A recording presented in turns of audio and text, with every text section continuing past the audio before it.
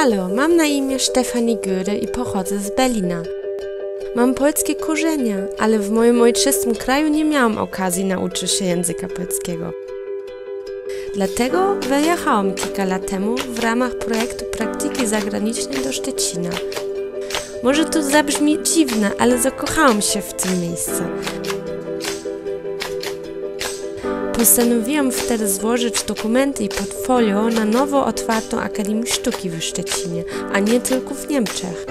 Kiedy zobaczyłam moje imię na liście wybranych, ucieszyłam się i zdumiałam równocześnie.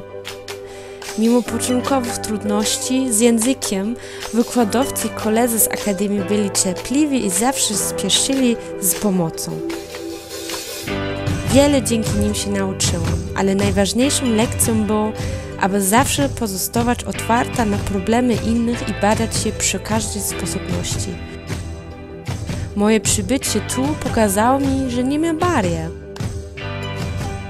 Jestem szczęśliwa, że mogłam tego wszystkiego doświadczyć.